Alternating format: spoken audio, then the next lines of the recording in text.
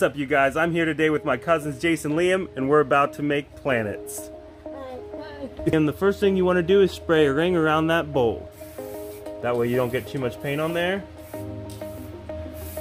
Yep, and you just fill that in there.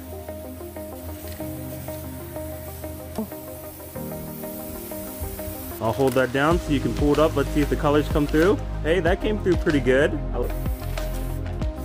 Highlight that whole edge. Next we have Jace while Liam's is drying. Perfect, perfect.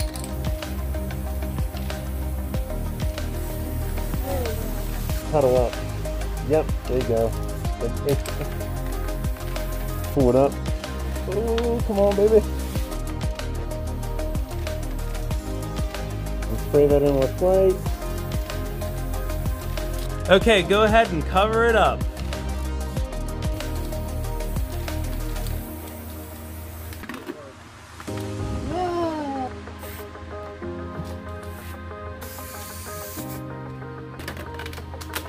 Nice, dude. That's looking good, man.